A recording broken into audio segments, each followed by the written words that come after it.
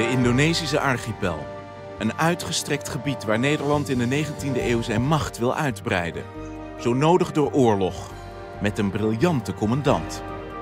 Een eh, zeer energieke man die voor niemand bang was. Een zeer nurks mens. En een even briljante en verraderlijke tegenstander. Een verhitte strijd in de jungle van Aceh. Je werd gewoon aangevallen, op je rug gesprongen en er werd, het ging er echt heel erg hard aan toe. Met grote belangen. Dus rij langs een Shell-tank en denk hier aan. Hoe Nederland verwikkeld raakt in een heilige oorlog.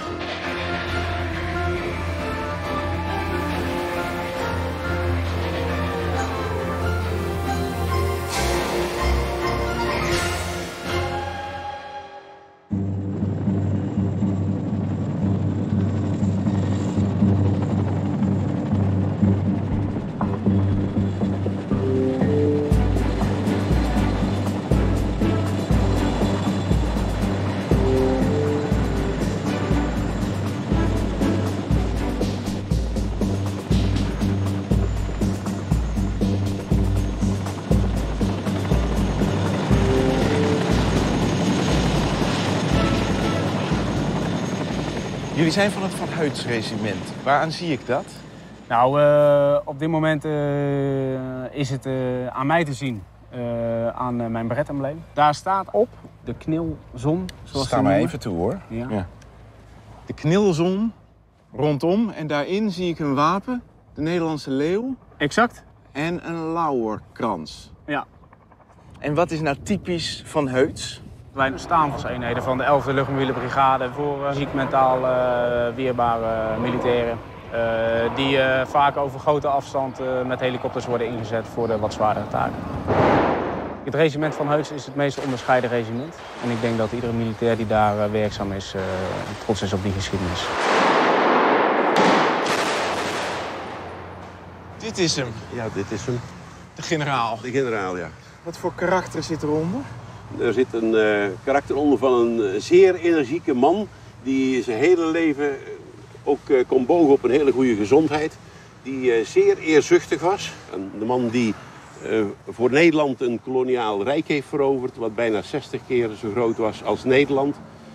Onder destijds 60 miljoen mensen met minder dan 40.000 soldaten. Een man van ongelofelijke daadkracht en, en ja. moed en ja. energie. Ja.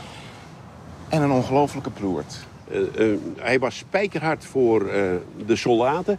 Maar de soldaten gingen voor hem door het vuur en hij ging voor de soldaten door het vuur. Ondanks het feit dat hij ook gewond is geraakt tijdens gevechten en zo... is hij toch steeds het voorbeeld geweest van zijn soldaten. En die droegen hem op handen. En ook de Atjeërs droegen hem op handen. Want... Maar wacht even, hij vocht in Aceh tegen de Atjeërs? Ja, hij vocht tegen Maar dat zit in de aard van de Atjeërs. Dat alleen hij die aantoont dat hij aan de Atjeërs de wil kon opleggen. En die krachtig genoeg was om hun te laten doen wat hij wilde. Dat ze daar enorm respect voor hadden. Wat u hier voor ons zien is het uh, paleisje zoals het uh, door koning Willem III destijds uh, werd gekocht. En in 1863 werd aangeboden om hier de invaliden van het koloniale leger op te nemen. Dat heet toen het Koloniaal Militair Invalidenhuis op Bronbeek. En hierachter ligt dus het hoofdgebouw waarin in die dagen 260 man tegelijkertijd waren. We hebben natuurlijk een uh, menigte aan voorwerpen uit het voormalig Nederlands-Indië. Als we bijvoorbeeld hier uh, dit meubilair bekijken. En we komen hier in een van de mooiste zalen van de commandantswoning... waar ook de recepties enzovoorts worden gehouden. En Koloniale grandeur. Koloniale grandeur, ja, inderdaad. Jati hout. Jati hout, ja, degelijk. Spijkerhard, zoals ook van huis was, zoals ik zei. ja. En 19e eeuwse kaarten. Je denkt altijd, tenminste, op school leer je altijd... Nederlands-Indië in de 19e eeuw nee. is al van ons. Van ons. En u zegt, Van Heuts bracht het bij elkaar, Van Heuts veroverde het laatste stuk. Wat viel er nog te veroveren in die 19e eeuw? Nou, we mogen zeggen vrijwel alles. Wat wij terugkregen na de Napoleontische oorlogen... waren de gebieden die de VOC vroeger had bezet. was hoofdzakelijk delen van Java... Uh, zuid, uh, zuidelijk deel van Sumatra...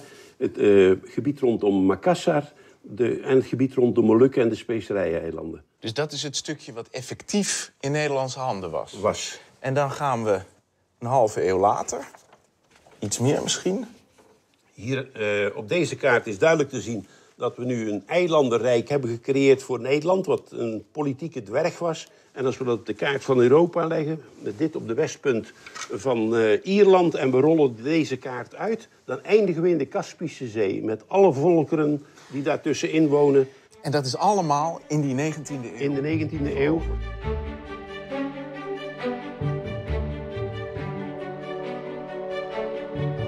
De strijd om Atje begint in de jaren 1870. En die duurt eindeloos.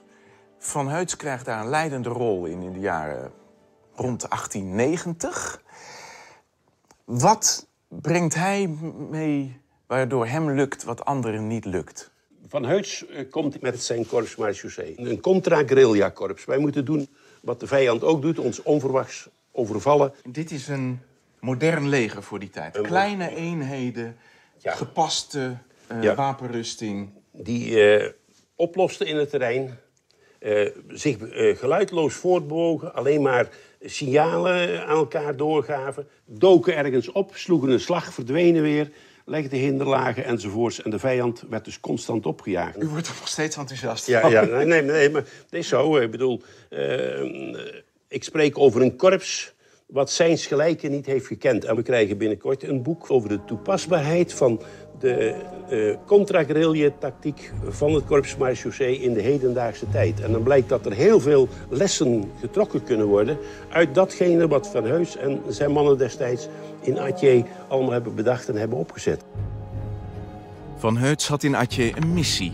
Het verslaan van de Atjese krijgsheer Tuku Umar. Die toonde zich in eerste instantie een bondgenoot. Hij werkte drie jaar met de Nederlanders samen, leidde aanvallen tegen zijn eigen landgenoten, leek loyaal aan het gouvernement. Maar in 1896 was het afgelopen. Tuku Umar liet zijn broodheer vallen. De Nederlandse kranten schreven vol verontwaardiging over verraad. Het was een hele populaire oorlog in de zin dat het publiek er heel erg bij betrokken was, bij die Atje-oorlog. En er werden ook eh, tijdschriften uitgegeven met extra bijlagen en ook met spelletjes. Het Tuku Umar-spel. We hadden dus het verraad van Tuku Umar. En daaraan- sindsdien was er ook een spel. Ja, hier zien we de kaart van Atje. Dit is die hele noordwestpunt van Sumatra. Ja. En daarop, nou, eens even kijken. Hoe gaan we dit doen? Dit spel bestaat uit een bord benevens 24 gele schijven... voorstellende soldaten, dat zijn dan, dat zijn dan Nederlanders. Ja. En één zwarte schijf aanduidende Tuku Umar. Ja. Met z'n allen achter die ene voortvluchtige verraaier Ja. aan. Tuku Umar is op de vlucht. Die gaat door dit hele gebied heen en wordt achterna gezeten door het Nederlandse leger om hem ergens klem te zetten. Ja.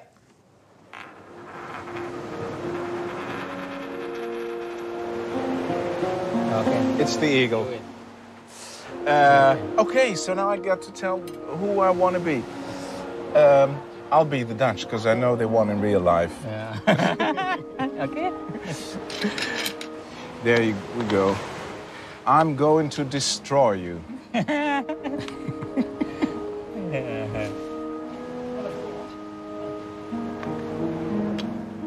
Ik speel het Tuku Umar-spel in Indonesië met een geboren en getogen Acjeer, de historicus Mawardi Umar. Overigens geen familie.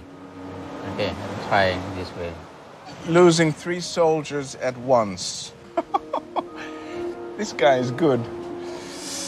Um,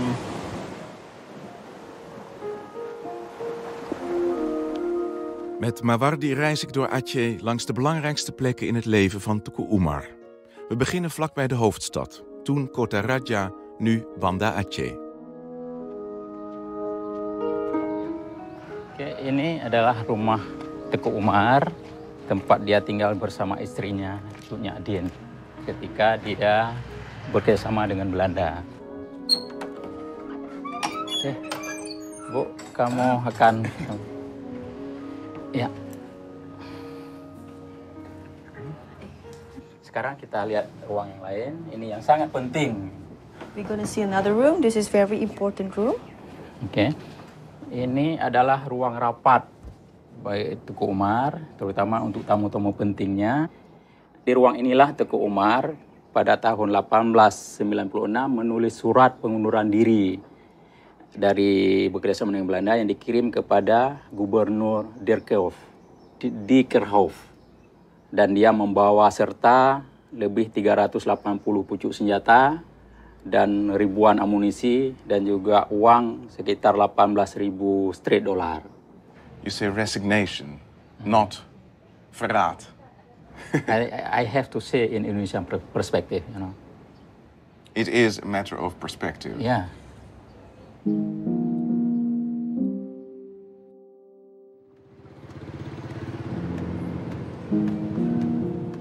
This is an Indonesian movie about Keumar and the Dutch Achinese War.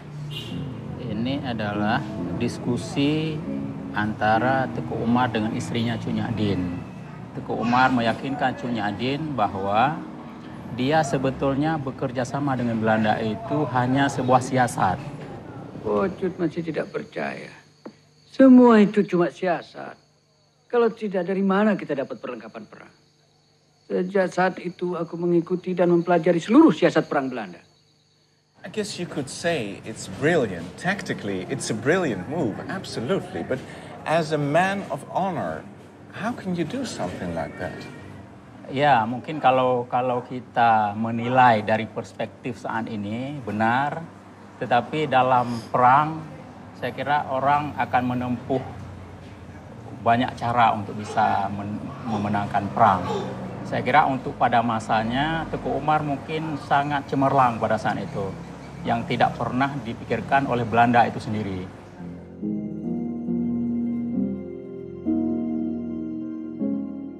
Keumar is de slimste. Hij is de slimste van allemaal, ja. En wij eh, vertroetelen die man meer dan verschrikkelijk. Wij bouwen voor hem een prachtig huis in Lampisang... op korte afstand van uh, Cotaratja. En hij heeft net van ons 800 wapens gekregen... waarvan er een aantal van de allermodernste soort zijn... die zelfs bij een aantal knilheden nog niet waren ingevoerd. Beaumont-geweren en achterladers.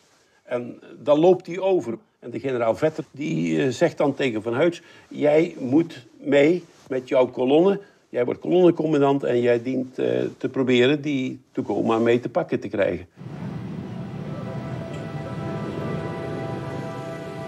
De jacht op de Umar wordt ingezet, gevoed door een heilige woede over het verraad. Het wordt een zaak van lange adem, zoals een enkele Nederlander aan de vooravond van de oorlog al gewaarschuwd had. I would like to read you something because I know you understand a little Dutch. It's a brief van Multatuli aan den Koning, 1872. And Multatuli has an advice for Yeah. The king, saying: Uw gouverneur-generaal, Sire, staat op het punt onder gezochte voorwendsels den oorlog te verklaren aan den sultan van Achin. Met het voornemen die soeverein te beroven van zijn erfdeel. Sire, dit is nog dankbaar, nog edelmoedig, nog eerlijk, nog verstandig. Ya, Multatuli dia mengerti dari wataknya orang Aceh, sifatnya orang Aceh, kemudian juga dari perang Aceh itu sendiri. gitu. Karena bagi orang Aceh, perang itu bukan hanya persoalan merebut kekuasaan, tapi perang itu juga ada unsur agama. Kalau karena dia perang mempertahankan agama, maka wajib bagi setiap orang Aceh itu untuk berperang dan rela mati untuk berperang.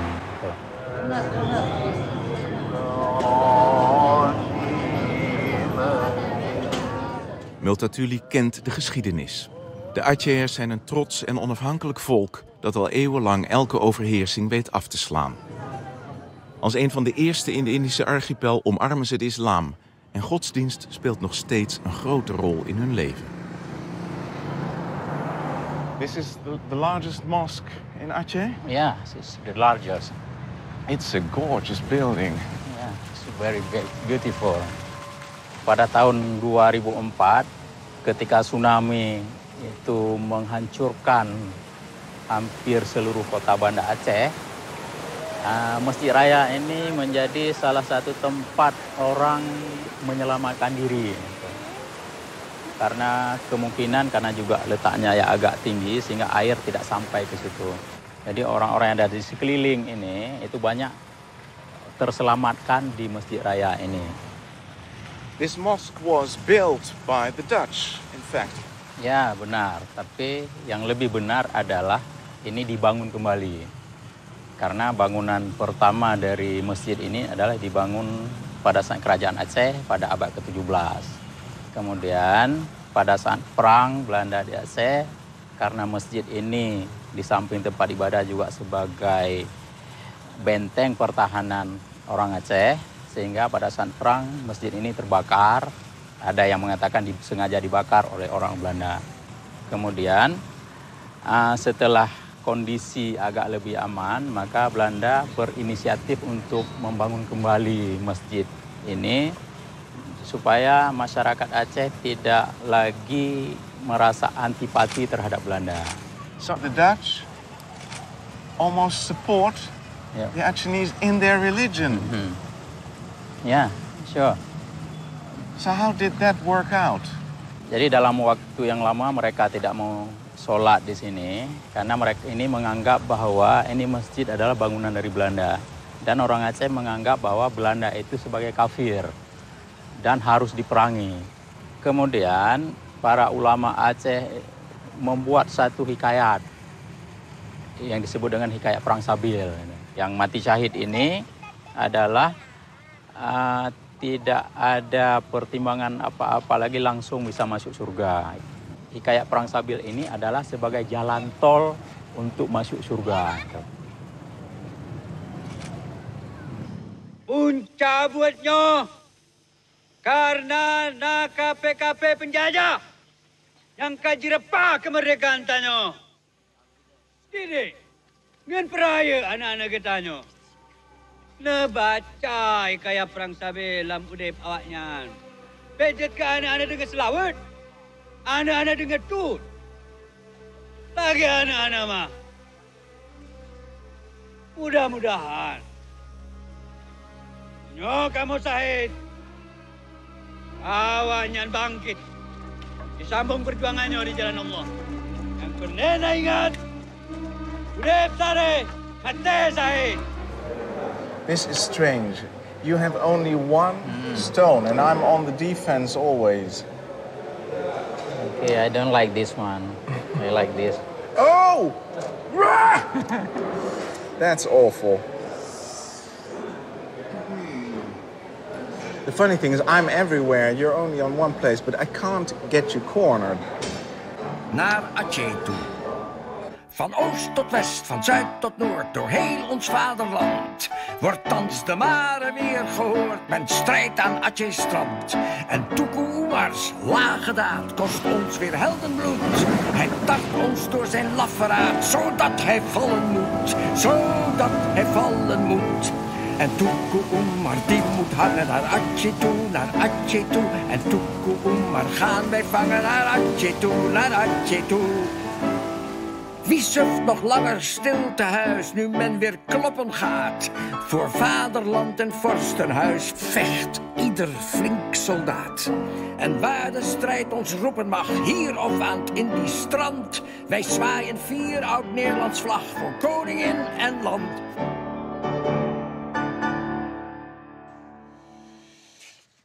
Kanongebulder. Ten strijde. Het is heel direct en fel ook wel. Echte strijd. Wij zijn daar eh, om, eh, om te overwinnen en dat gaat ons lukken ook. Oproeping tot den strijd. Ja, en Bijna ook, alsof- we ja. doen het samen. Want dat is natuurlijk ook dat publiek bij. Het was niet eh, een paar militairen gaan daar een, een strijd aan. Nee, wij, wij, het volk, staat er ook achter. Precies, het is de oproeping tot den strijd niet alleen voor de militairen, wij allen. Ja, wij Nederlanders. Oh, die dieren intussen. Sorry, Krokodilletjes. jongens, Ik heb het voorbereid, maar ik moet even denken welke... Schildpadden. Oh, hier. Heb je ze? Waar ben je nou? Oh, Hier, ja. Zal ik deze even weghalen? Ik- Nou,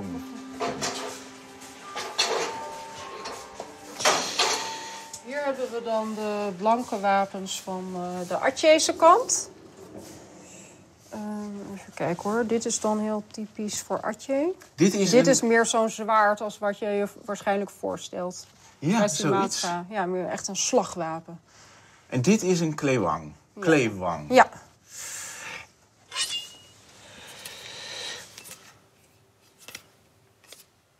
Hoe moet je je dat voorstellen in, in de strijd?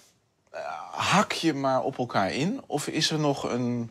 Nou, het is, niet, het is niet een heel elegant eh, schermspel. Het is- het is niet- Er werden ook, kwamen ook vaak mensen, artilleers, echt uit de bosjes. En je- werd gewoon aangevallen, op je rug gesprongen. En er werd, het ging er echt heel erg hard aan toe. Ja, Hakken waar je hakken kan. ja, ja.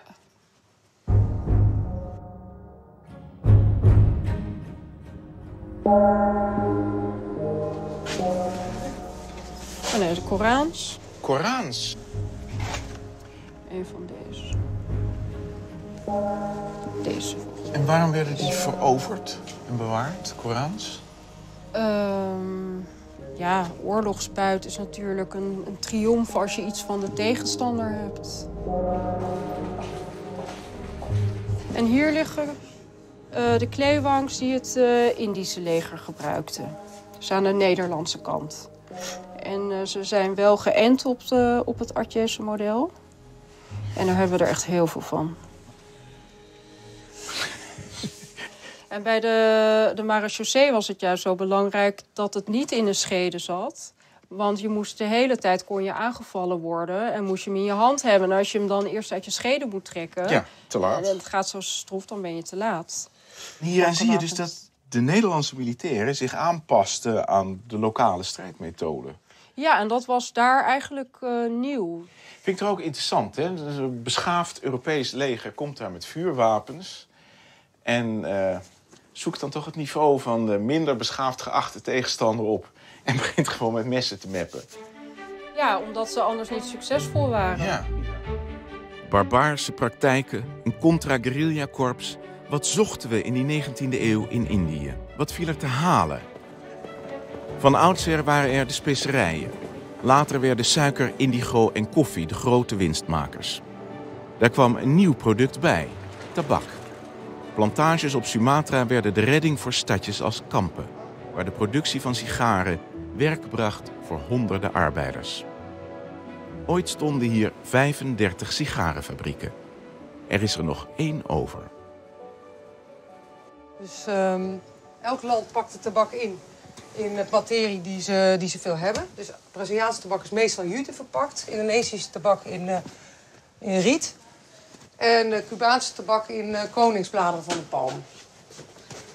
En dit heet de seroenen. En dit zijn balen. Hier ligt, hier ligt voor ons het goud. Tabak uit Sumatra. Sumatra PPN dekblad. zandblad. 87. Je weet precies wat dit is dan? Ja, dat weet ik precies. Voor ons is heel belangrijk... eh, het eh, plantagenummer is natuurlijk heel belangrijk. Want elk stukje grond rondom Medan, want daar groeit die tabak... die is eh, anders van smaak. Wij kunnen zelfs het verschil van elke plantage kunnen wij proeven.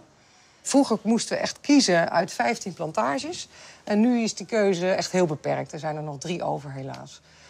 Mag ik eens zien? Ja. Dit is dekblad. Dit, is, het dekblad, het buitenste de van, sigaar. het, eh, van de sigaar. En ehm, dit is heel kostbaar, want het moet heel zijn. Want anders kunnen we natuurlijk geen sigaar van maken. Het moet egaal zijn, anders wordt die sigaar zo vlekkerig. Eh, het moet dun zijn, want je moet het heel mooi kunnen uitstrekken... zodat het strak over die sigaar heen gaat. Maar het allerbelangrijkste is, het moet smaken. En jullie stellen sigaren samen, dus uit al die verschillende uit soorten. Allerlei verschillende tabakken. Maar tabak uit Sumatra is heel kruidig van smaak. Geeft ontzettend veel eh, kruidigheid aan onze sigaar. En is echt kenmerkend voor eh, ons product. Dus als de bladen uit Sumatra wegvallen, dan hebben Dan jullie hebben we echt, echt een groot probleem. We hebben nog geen alternatief kunnen vinden. Ze proberen overal ter wereld hetzelfde zaad op te groeien. En eh, eenzelfde product te krijgen. Maar de, de gronden rond Medan die zijn zo specifiek van, ja, samenstelling, dat die ook tot het resultaat komen. Het is nog niet gelukt om het te imiteren. Ja, de administratie is natuurlijk heel belangrijk voor ons. Want uh, een kilo van deze tabak is bijzonder prijzig, kan ik vertellen. Ja? Ja, de prijzen kunnen oplopen tussen de... begint dus bij 60, kilo, uh, 60 euro per kilo tot soms wel 100 uh, euro per kilo. En, uh, dus iedereen moet hier bijzonder voorzichtig mee omgaan. Oh, ik uh, Zoveel mogelijk sigaar uh, uit een kilo tabak halen.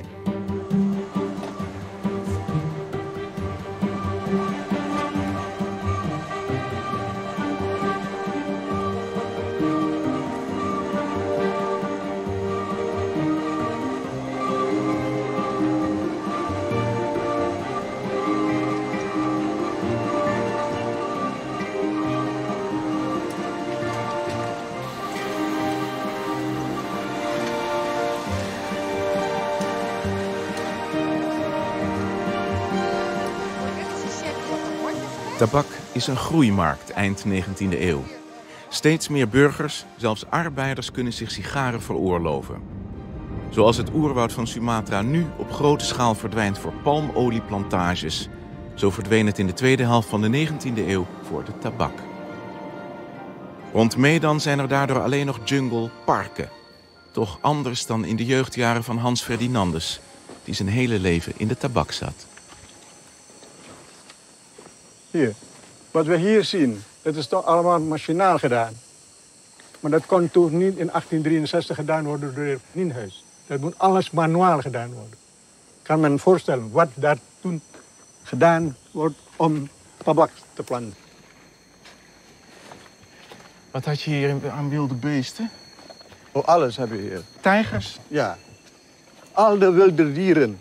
Heeft u daar zelf ook nog iets van meegemaakt? Ik was in 1955 toen ik begon te werken bij de Daily-maatschappij. En wanneer het gerekend heeft, dan kan men zien dat op het erf voetstappen zijn van dieren, van tijgers. Van die grote klauwen, Klauwen, in het zand. ja. Dan is het natuurlijk erg raadzaam om samen te, op de fiets die plantwegen te, te, te fietsen.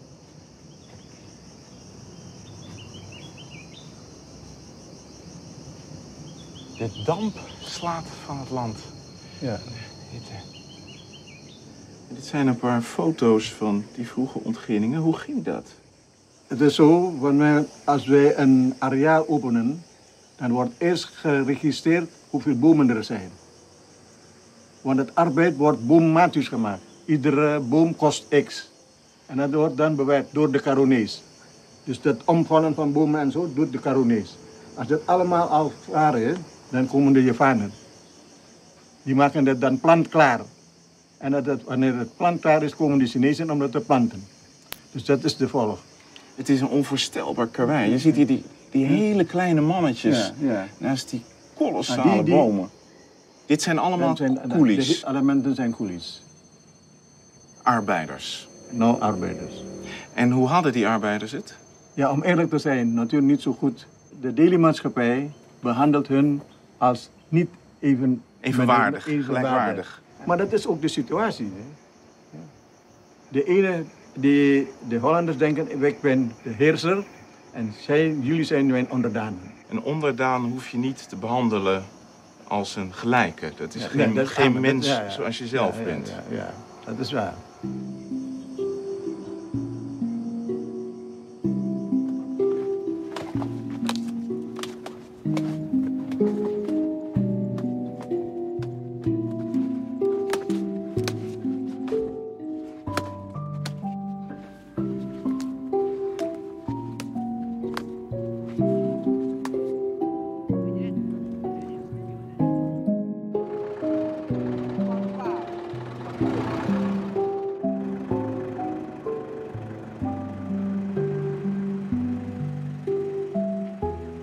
De verwerking van de tabak gebeurt nog op dezelfde manier als 150 jaar geleden.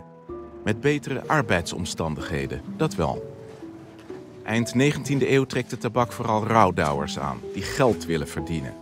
Het zijn gouden tijden voor de planters en de aandeelhouders van de zogenaamde daily-maatschappijen. Met de tabak drong Nederland voor het eerst diep in Sumatra binnen. Zo ontstond er hier in Medan een nieuw handelscentrum met gebouwen zoals dit. Het kantoor van de Daily-maatschappij. Een wit paleis voor witte mannen. En die mannen joegen elkaar vervolgens op nog verder het land in te trekken. En weer nieuwe inkomstenbronnen te vinden.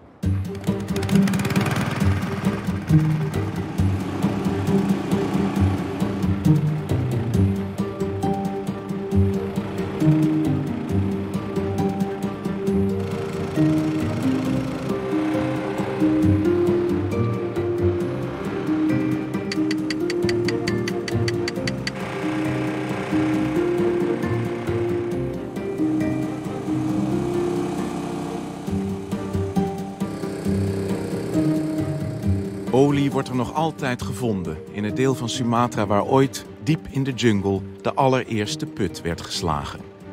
Die plek is nu vergeten. Het is uren zoeken voor ik hem vind. Samen met de Indonesische geoloog Kusuma Dinata.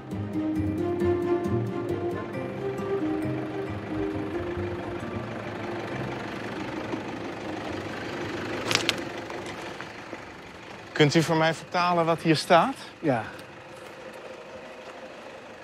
Het uh, hier was de eerste olieproducerende put geboord in Indonesië.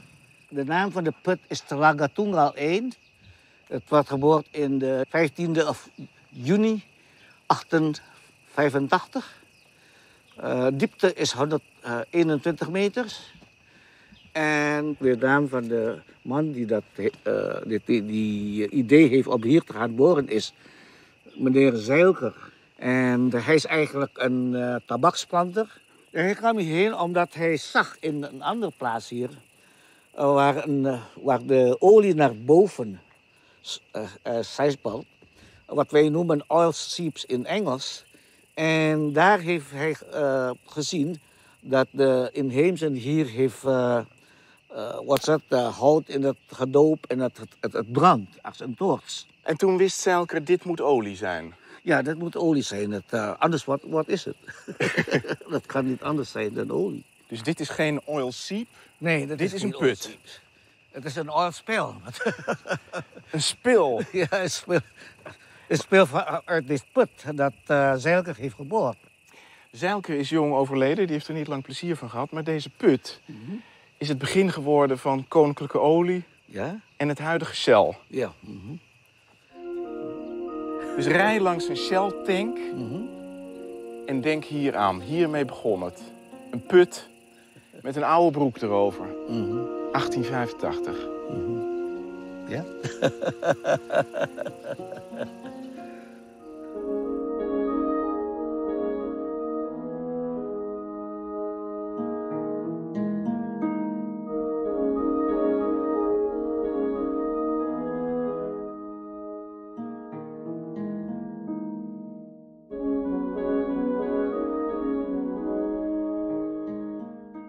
In verslagen van de eerste oliewinning valt te lezen dat het werk te lijden heeft onder Atjese bendes.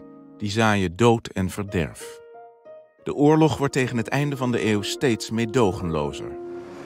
So Teko Umar decides to wage a war against the Dutch. Now, what is the area in which Teko Umar was governing here in Aceh? Oke, okay, saya menuju bahwa Teko Umar lahir di sini, di sekitar Melabuh. Maka setelah dia kembali berpihak pada rakyat Aceh, dia merebut kembali beberapa pos yang sudah dikuasai oleh Belanda. Kemudian pada saat dia ingin merebut Melabuh, Belanda mengetahui berdasarkan mata-mata berita dari mata-mata bahwa dia tahu bahwa Teku Umar akan merebut Melabuh dari tangan Belanda. Sebelum Teku Umar tiba di sini, itu Van Hout sudah membuat satu strategi untuk mencegah Teku Umar tanpa diketahui oleh Teku Umar. Sehingga begitu Teku Umar tiba di sini, sudah ada tentara Belanda yang menyambut untuk berperang dengan Teku Umar. Het uiteindelijke plan om Teku Umar te pakken is van Van Heuts Is van persoonlijk. Van Heus persoonlijk, ja. En ik kan me dan ook nog voorstellen dat er bijna iets van een persoonlijke Ja, dat- afrekening in meespeelt. Van het is jij of ik. Ja, eh, ik zeg natuurlijk ook, hij was spijkerhard. En eh, dat Van was hij voor zichzelf van Heuts. En dat was hij ook voor anderen. En ik denk dat hij, dat hij gewoon de eer wilde hebben ook. dat hij hem had uitgeschakeld. Dat dat, dat ook wel een rol heeft gespeeld.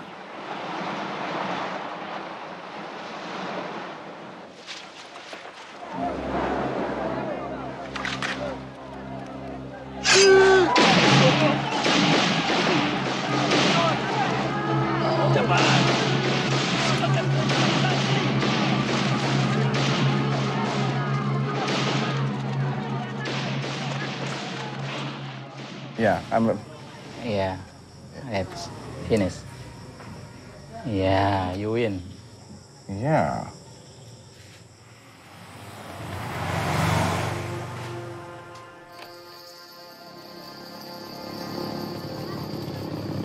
Na de dood van Teku Umar geven ook andere leiders van Aceh zich over. De oorlog lijkt gewonnen. Maar in het binnenland blijven geharnaste strijders zich verzetten tegen de Nederlanders. Van Heuts, inmiddels ook civiel gouverneur van Aceh, wil het verzet koste wat kost breken. Pas dan, zo denkt hij, zal er ruimte komen voor zijn droom. De economische ontwikkeling van de kolonie. Het brengen van beschaving. Verlichte ideeën. Van Heuts leidt in 1901 op zijn 50ste verjaardag nog één keer zijn manschappen de bergen in. Daarna laat hij het werk over aan anderen. In 1904 rustten de Nederlanders een expeditie uit hier vandaan. onder leiding van de rechterhand van Van Heuts, Van Dalen. En ze gaan hier door de Gajo-landen, de bergen door en zelfs over de bergen heen. Met een geweldsinstructie, zoals dat heet, die wel heel ruim was. Dit is een beetje waar de mannen van Van Dalen door moesten. Naaldbomen, reuzenvarens. We zitten hier op 1500 meter. En ook verder is dit wel iets heel anders dan het laagland. Die geluiden alleen al. Alles ritselt hier. En zien doe je helemaal niks. Een vijand, die zie je hier helemaal niet meer. Als je hier wekenlang doorheen gaat, stel je voor wat dat met je doet. Hoe dat in je kop gaat zitten. Die bomen die over je heen hangen als geesten.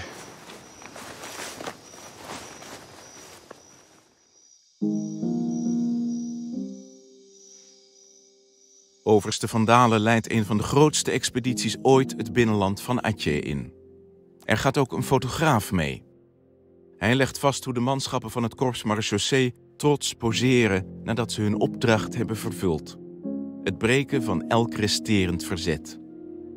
In dorpen als Kotari wordt geen inwoner gespaard.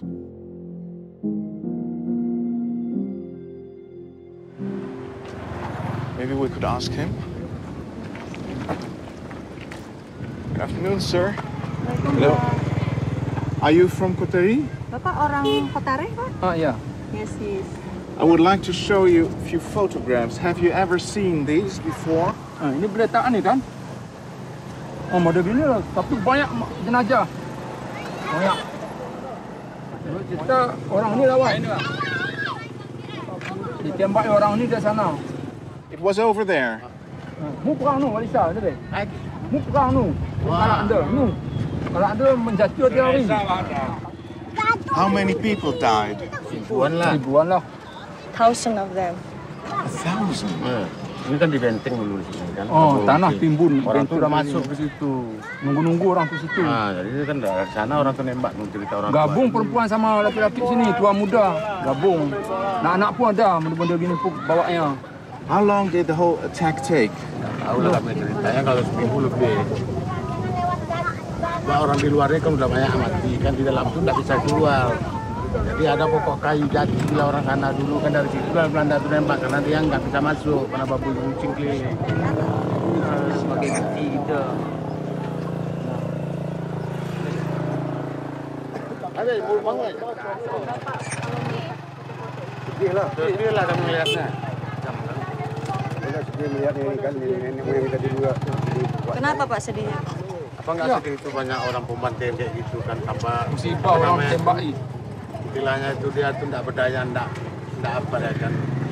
Orang pakai bambu mungkin dia pakai senjata lagi kan lah orang. Sedih lah kita lihat.